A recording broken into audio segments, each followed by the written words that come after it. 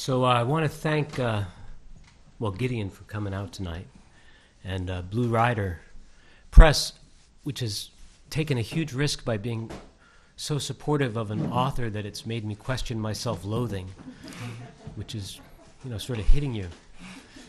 It's, it remains to be seen if it will survive sufficiently. Your. Um, Yes, to, to continue to be able to write. You know how that works.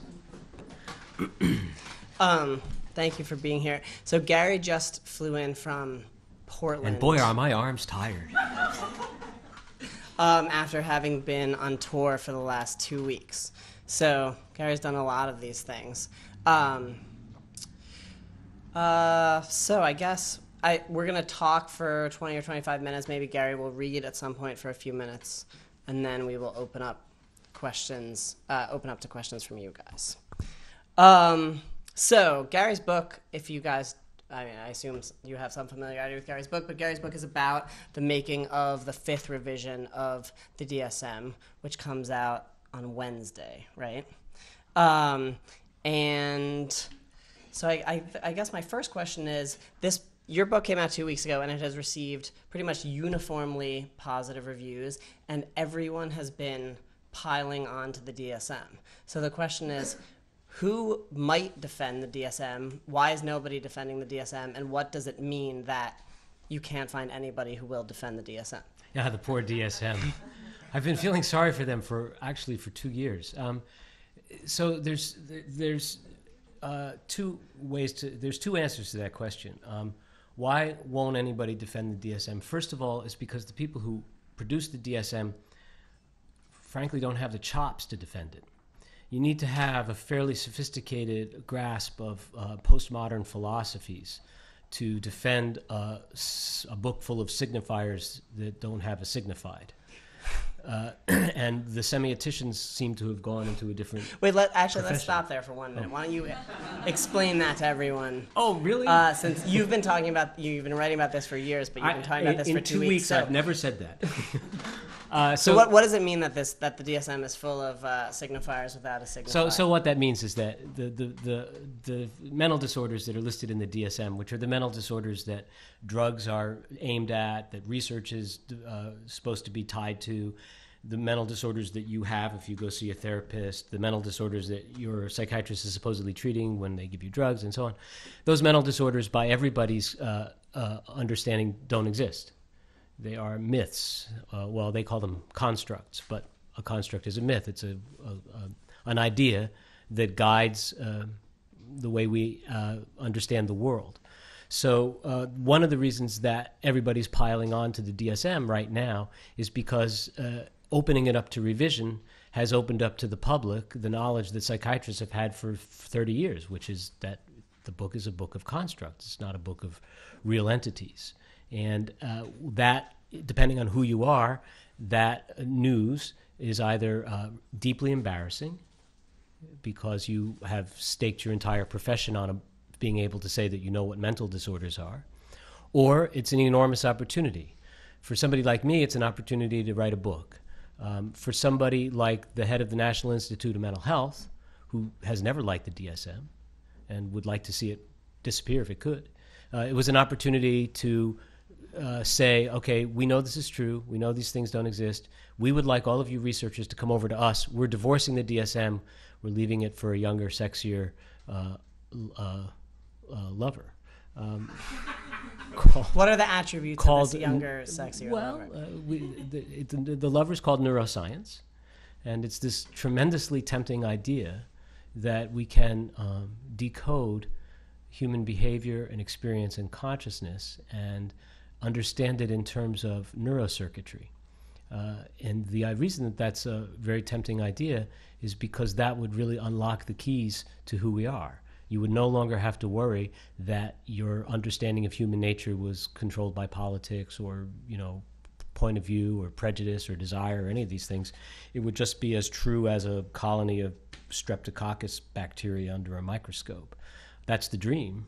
It's uh, quite a dream. I, I'm not particularly fond of it, but um, if, if indeed that was the case, then whenever there was suffering, there would be a way to decode it, to boil it down to those neurocircuits that cause it, and presumably uh, treat it. That's the beauty part, at least if you're a drug company.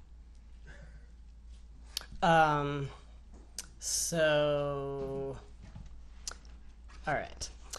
So then who, all right, so, but at the same time, the APA likes to say that, um, well, actually, medicine isn't really medicine in the first place. Yeah, and that's a totally fair point. You know, this whole idea that a disease is a form of suffering that has a biochemical cause, this is a this is a myth. This is another myth. This is a big myth.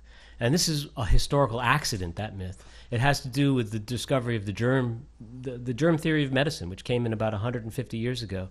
And the idea that you could find the causes of ill, of suffering in you know cells or molecules or whatever the unit was and when doctors were suddenly and it was sudden able to uh, cure diseases that killed people routinely you know strep throat killed children uh, um, syphilis affected maybe 40% of the people in europe at the turn of the 20th century when they were able to do that they were um, able to turn around, uh, they were able to enhance the power of medicine.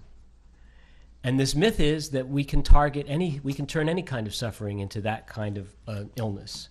So when we uh, see that, when, when we say that psychiatry can't do that, psychiatry can't find these targets, the fact is there's an awful lot of diseases, physical diseases, that we can't find the targets for either.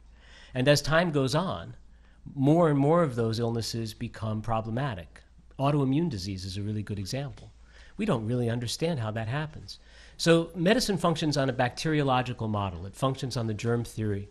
And in fact, we've run out of diseases that are caused by germs. So, when the American Psychiatric Association says that, they're not wrong.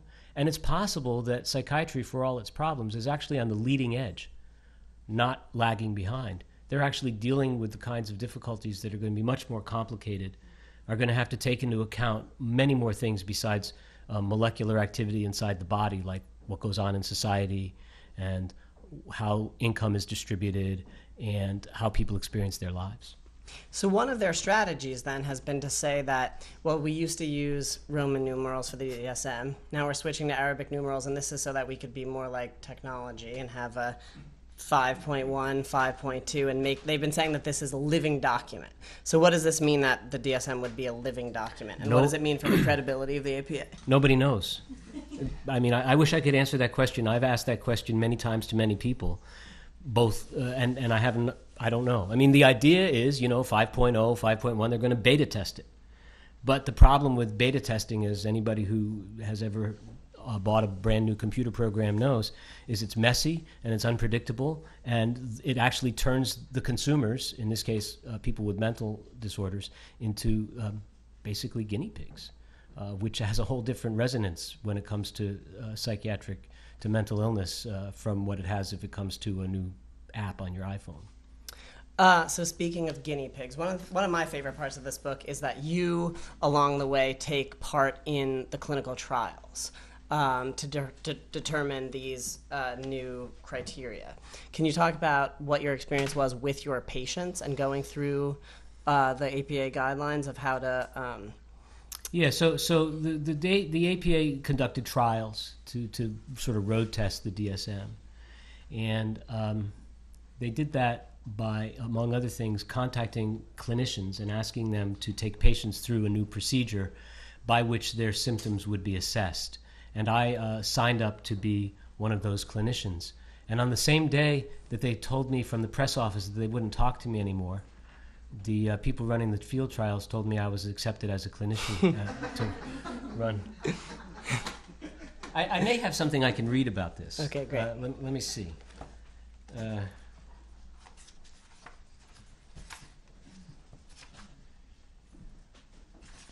So uh, let me let me read you a little bit about what it's like to have a new. So the idea was I would run a new person, somebody I'd never met before, through these clinical trials. And what really struck me about it was the disconnect between this idea that somebody was going to come into my office for whatever her, her it was a woman, her me- mental problems were, her suffering was, and this computer test that I had to give her.